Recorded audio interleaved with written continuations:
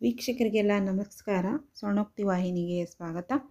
ರಾಜ್ಯೋತ್ಸವದ ಅಂಗವಾಗಿ ಕೆಲವೊಂದು ಪ್ರಶ್ನೆಗಳು ನಿಮ್ಮ ಮುಂದೆ. ಆ ಪ್ರಶ್ನೆಗಳು ಅವು ನಾಡಗೀತೆಗಳು ಕೂಡ ಆಗಿವೆ ಮತ್ತು ನಾಡಗೀತೆಗಳನ್ನು ಬರೆದಂತಹ ಕವಿಯ ಹೆಸರು ಕೂಡ ಆಗಿವೆ. ಆದರೆ ಅವೆಲ್ಲವೂ ಏನಾಗಿವೆ? ಹಿಂದೆ ಮುಂದೆ ಆಗಿವೆ. ನೀವು ಅವುಗಳನ್ನು ಆದಷ್ಟು ಸರಿಯಾದ ಕ್ರಮದಲ್ಲಿ ಜೋಡಿಸಿದರೆ ಒಂದು ಸುಂದರ ಹಾಡು ಮತ್ತು ಒಬ್ಬ ಸುಂದರ ಕವಿಯ ಹೆಸರು ಆಗುತ್ತೆ. ಬನ್ನಿ, ಹಾಗಾದರೆ ತಡೆ ಯಾಕೆ ಕಾರ್ಯಕ್ರಮವನ್ನು ಶುರು ಮಾಡೋಣ ನೋಡಿ ಮೊದಲನೇ ಪ್ರಶ್ನೆ. ಡಿ ಎಸ್ ಕರ್ಕಿ ಅವರು ಬರೆದಂತಹ ಹಾಡು ಇದೊಂದು ನಾಡಗೀತೆಯಾಗಿದೆ. ನೋಡಿ, ಇದರ ಉತ್ತರವನ್ನು ನೀವು ಆದಷ್ಟು ಕಮೆಂಟ್ ಮೂಲಕ ಕಳಿಸಿ. ಒಂದರ ಸುಂದರವಾದಂತಹ ನಾಡಗೀತೆಯಾಗಿದೆ ಇದು. ನಿಮಗೆ ಉತ್ತರಿಸಲು ಕಾಲಾವಕಾಶವನ್ನು ಕೂಡ ಕೊಟ್ಟಿದ್ದೇನೆ. ನೋಡಿ, ನಿಮ್ಮ ಕಾಲಾವಕಾಶ ಕೂಡ ಶುರುವಾಗಿದೆ. ಪ್ರಯತ್ನ ಮಾಡಿ.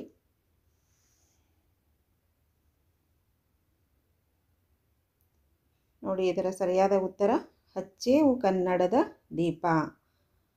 ಇದೊಂದು ಪ್ರಸಿದ್ಧ ಗೀತೆಯಾಗಿದೆ. ಪ್ರಶ್ನೆ ಎರಡು. ಜೋಗದ ಸಿರಿ ಬೆಳಕಿನಲ್ಲಿ, ತುಂಗೆಯ ತೆನೆ ಬೆಳಕಿನಲ್ಲಿ. ಈ ಹಾಡು ನಿಮಗೆಲ್ಲರಿಗೂ ಗೊತ್ತೇ ಇರ್ಬೋದು. ಹಾಗಾದರೆ ಇದನ್ನು ಬರೆದಂತಹ ಕವಿ ಯಾರು? ಗೊತ್ತಾದರೆ ಉತ್ತರವನ್ನು ಆದಷ್ಟು ನೀವು ಕಮೆಂಟ್ ಮೂಲಕ ಕಳಿಸಿ.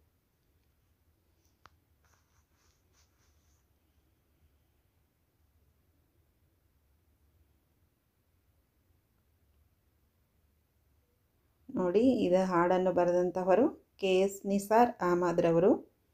ಬಹಳ ಸುಪ್ರಸಿದ್ಧವಾದ ಗೀತೆಯಾಗಿದೆ ಇದೊಂದು. ಪ್ರಶ್ನೆ ಮೂರು. ಹೊತ್ತಿತೋ ಹೊತ್ತಿತೋ, ಕನ್ನಡದ ದೀಪ, ಮುಗಿಯಿತೋ ಮುಗಿಯಿತೋ, ಶತಮಾನಗಳ ಶಾಪ. ನೋಡಿ, ಈ ಒಂದು ಹಾಡನ್ನು ಬರೆದಂತಹ ಕವಿ ಯಾರೆಂದು ಗುರುತಿಸಿ.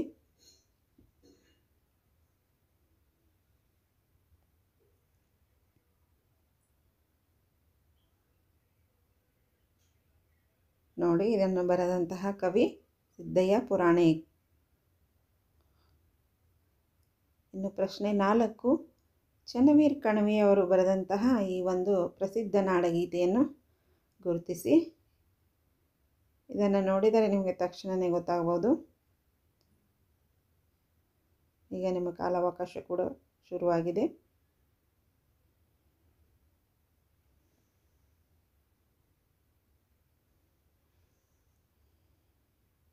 ಇದರ ಸರಿಯಾದ ಉತ್ತರ.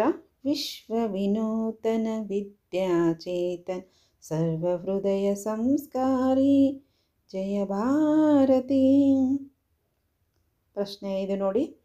ಎಲ್ಲಾದರೂ ಇರು, ಎಂತಾದರೂ ಇರು, ಎಂದೆಂದಿಗೂ ನೀ ಕನ್ನಡವಾಗಿರು. ಕನ್ನಡವೇ ಸತ್ಯ, ಕನ್ನಡವೇ ನಿತ್ಯ. ಈ ಹಾಡನ್ನು ನೀವು ಪ್ರತಿಯೊಬ್ಬರು ಕೇಳೇ ಇರ್ತೀರ. ಹಾಗಾದರೆ ಇದನ್ನು ಬರೆದಂತಹ ಕವಿ ಯಾರು ನೋಡಿ. ಉತ್ತರವನ್ನು ಆದಷ್ಟು ಕಮೆಂಟ್ ಮೂಲಕ ಕಳಿಸಲು ಪ್ರಯತ್ನ ಮಾಡಿ.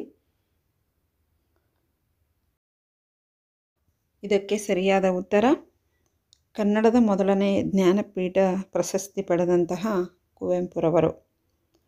ಇಲ್ಲಿಯವರೆಗೆ ವಿಡಿಯೋವನ್ನು ವೀಕ್ಷಣೆ ಮಾಡಿದ್ದಕ್ಕಾಗಿ ನಿಮಗೆಲ್ಲರಿಗೂ ನನ್ನ ಧನ್ಯವಾದಗಳು. ನಮ್ಮ ಚಾನಲ್ಗೆ ಹೀಗೆ ನೀವು ಸಪೋರ್ಟ್ ಮಾಡಿ, ಸಬ್ಸ್ಕ್ರೈಬ್ ಆಗಿ ಮತ್ತು ಲೈಕ್ ಮಾಡಿ ಶೇರ್ ಮಾಡಿ.